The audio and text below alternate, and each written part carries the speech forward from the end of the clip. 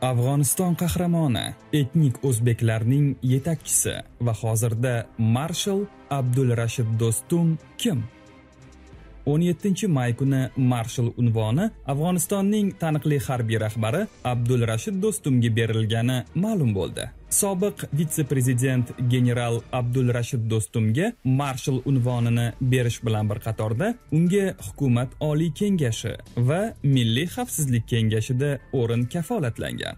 Xo'sh do'stum kim o'zi? Afg'onistonning eng taniqli harbiy qo'mondonlaridan biri balki eng mashhuri abdulrashid do'stum 1954 yilda afg'oniston shimolidagi juzjon viloyatining shibarg'an tumani xo'jako'x qishlog'ida dehqon oilasida tug'ilgan. Otasi o'zbek onasi turkman. Do'stum o'zini o'zbek deb biladi va o'zbek tilida gaplashadi. O'rta maktabni tugatgandan so'ng do'stum sssr bilan hamkorlikda tashkil etilgan gaz ishlab chiqarish korxonasida ish boshladi.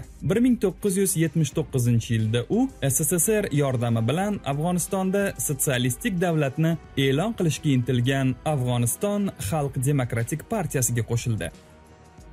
1980 yilda do'stum sssrga o'qishga keldi va leningrad harbiy akademiyasida o'qidi.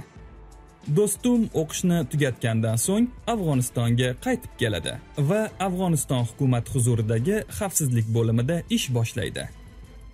Biroz vaqt o'tgach do'stum mamlakat shimolida yashovchi o'zbeklarni o'z ichiga olgan 53 diviziya qo'mondoni etib tayinlandi va u afg'onistonni tark etguniga qadar sovet qo'shinlari bilan birgalikda mujohidlarga qarshi jang qildi. Sovet qo'shinlari afg'onistondan chiqarilgandan so'ng u bir muddat najibulloh hukumatini qo'llab-quvvatladi. So'ngra uning rejimi muxoliflari tomoniga o'tdi. 1992 yilda do'stum afg'oniston shimolini to'liq nazoratiga oldi. O'sha paytda asosan o'zbeklar yashaydigan afg'onistonning shimoliy qismi hatto norasmiy ravishda do'stumiston deb nomlangan. U shimoliy afg'oniston poytaxtini mozor sharif deb e'lon qildi va o'z qarorgohini shu shaharga joylashtirdi. O'sha paytda uning qo'mondonligida sssrda ishlab chiqarilgan tanklar qiruvchi samolyotlar va boshqa harbiy texnika bilan qurollangan 65 ming harbiy xizmatchi bo'lgan.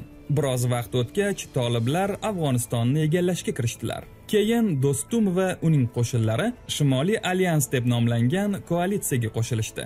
Do'stumdan tashqari koalitsiya tarkibiga mamlakatning qonuniy prezidenti burxoniddin rabboniy qo'mondonligidagi hukumat kuchlari shuningdek afg'onistonlik dariy yetakchisi ahmad shoh masud va pushtun yetakchisi gulbiddin hikmatyor boshchiligidagi qo'shinlar kiritilgan. Bir yil davom etgan jangovar harakatlardan so'ng 1997 yil may oyida do'stumning yordamchisi abdulmalik faryob viloyatida isyon ko'tarib tolibon tomoniga o'tdi. Shundan so'ng tolibon afg'onistonning shimolini ham qo'lga kiritdi va do'stum turkiyaga ketishga majbur bo'ldi. O'sha yilning kuzida do'stum afg'onistonga qaytib keldi. Yana toliblar bilan urush olib bordi. Ammo mag'lubiyatga uchrab 1998 yilda u yana turkiyaga jo'nab ketdi. 2001 yilda nyu yorkdagi teraktdan so'ng qo'shma shtatlar o'z qo'shinlarini afg'onistonga olib boradi va tolibonga qarshi kurashayotgan koalitsiya bilan hamkorlikda mamlakatning asosiy qismini koalitsiyaga qaytaradi. Keyin do'stum yana mamlakat shimolidagi harbiy kuchlarga qo'mondonlik qiladi va amerika qo'shinlari bilan birgalikda toliblarga qarshi faol kurash olib boradi. O'sha yili u afg'oniston yangi hukumatining asosiy tarkibiga kirgan. 2004 yilda prezident saylovlari bo'lib o'tdi va do'stum ham saylovlarda qatnashdi. Saylovlarda 10% saylovchilar do'stumga ovoz berishdi va u 4 o'rinni egalladi. Hamid karzay esa prezident bo'ldi. 2005 yilda do'stum afg'oniston qurolli kuchlari oliy qo'mondonligi bosh shtabi boshlig'i etib tayinlandi. Ma'lum bo'lishicha, 2008 yilda u o'zining maslakdoshi, Afg'oniston Turkiy xalqlari kengashi raisi Akbarboy bilan kelishmovchiliklarga duch kelgan va do'stum unga qurolli hujum uyushtirgan. Shu sababli u bosh shtabdan iste'foga chiqdi va u yana Turkiyaga jo'nab ketdi. 2009-yilda navbatdagi prezident saylovlari arafasida do'stum yana Afg'onistonga qaytib keldi va faol siyosiy faoliyat olib borishni boshladi. O'sha yilning kuzida u o'z lavozimiga qayta tiklanadi.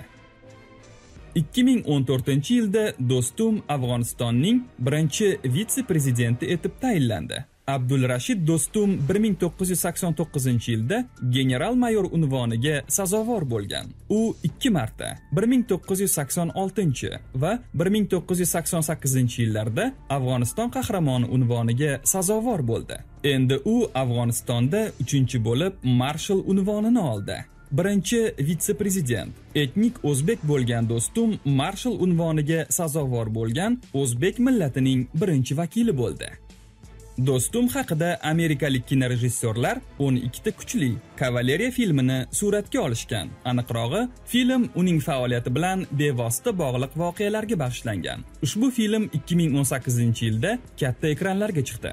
Unda AQShning Afg'onistondagi 11-sentyabr hujumlaridan so'ng Tolibonga qarshi harbiy harakatlari tasvirlangan. Filmda Abdul Rashid Do'stum obraziga alohida e'tibor qaratilgan. Uning rolini taniqli Gollivud aktyori Navid Negaban ijro etgan. Do'stum afg'on o'zbeklari orasida juda mashhur. Uning sharafiga she'rlar yoziladi, qo'shiqlar kuylanadi. Toliblarga qarshi kurash haqida Do'stum to tirik ekanman, biron bir terrorchi Afg'onistondan qo'shni O'zbekiston va Turkmanistonga o'tib ketmaydi degan. Afg'onistondagi o'zbeklar O'zbeklar Afg'onistondagi to'rtta asosiy millatdan biridir. Turli manbalarga ko'ra, Afg'onistonda taxminan 2.7 3,5 million o'zbeklar yashaydi. Ular asosan mamlakat shimolida, O'zbekiston, Turkmaniston va Tojikiston bilan chegaradosh hududlarda yashaydilar. Mamlakatning markaziy mintaqalarida ham o'zbeklar bor, ammo ular juda kam. Afg'onistondagi o'zbeklar soni taxmin qilinganidan ancha ko'p bo'lishi mumkin. 1980-yillarda SSSR Afg'onistonda hukumat tuzganida aholining umumiy soni 16 million, o'zbeklar esa 2 millionga yaqin ekanligi haqida ma'lumotlar keltirilgan. Bugun Afg'oniston aholisi 38 milliondan oshdi va shunga ko'ra o'zbeklar soni kamida 2 baravar ko'payishi mumkin. Mamlakatning g'arbidagi eronliklardan va sharqidagi pushtunlardan farqli o'laroq o'zbeklar qochqinga aylanishmadi. Shu sababli ba'zi manbalarda Afg'onistondagi o'zbeklar soni 5 millionga yaqinlashayotganligi aytilmoqda. Mamlakatda ko'p yillar davomida aholi ro'yxati o'tkazilmaganligi sababli aksariyat manbalar o'zbeklar soni haqida gapirganda taxminiy hisob-kitoblarga asoslanadi. Afg'oniston shimolidagi 10 ga yaqin viloyatning rasmiy tili o'zbek tili. So'nggi yillarda mamlakatda o'zbek tiliga e'tibor kuchaymoqda. O'zbek tilida efirga uzatiladigan bir nechta telekanallar va o'nlab radiokanallar mavjud. Bundan tashqari qo'shni mamlakatda bir nechta gazetalar o'zbek tilida nashr etiladi. Afg'onistonda o'zbek teatri ham mavjud. Afg'onistondagi siyosiy jarayonlarda Abdulrashid Do'stum va o'zbeklarning o'rni Do'stum o'tgan asrning 90-yillarida Afg'oniston shimolidagi o'zbeklarning yetakchisiga aylanganidan buyon Afg'onistonning boshida turgan har bir siyosatchi saylovlarda mamlakat shimolida yashovchi millionlab o'zbek aholisining ovozini olish uchun Marshal Do'stum bilan hisoblashishi shart. Bugungi kunda o'zbeklar 40 million Afg'oniston aholisining 10 dan bir qismini tashkil qiladi. Biroq gap boshqa narsada. Toliblar hukmronlik qiladigan hududlarda saylov uchastkalarini tashkil qilishning iloji yo'q. Mamlakatning shimolida aksariyat mintaqalar hukumat tomonidan nazorat qilinadi va u yerda saylovlar o'tkaziladi. Bundan tashqari, mamlakatning shimoliy qismida yashovchi o'zbeklar boshqa viloyatlarga qaraganda saylovlarda ancha faol. Shunga asoslanib, Do'stum ta'sirida bo'lgan shimoliy mintaqalar aholisining ovozlari afg'onistonlik siyosatchilar uchun juda muhimdir. Shuning uchun ham ham do'stum ko'p yillar davomida Afg'oniston rahbariyati uchun muhim shaxs sifatida qabul qilinib keladi.